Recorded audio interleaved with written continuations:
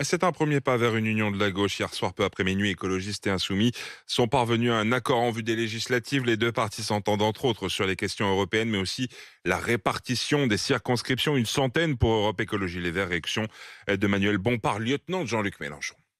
C'est historique. Euh, en tout cas, nos formations politiques n'avaient pas fait d'accord aux élections législatives. C'est la première fois euh, que ça arrive.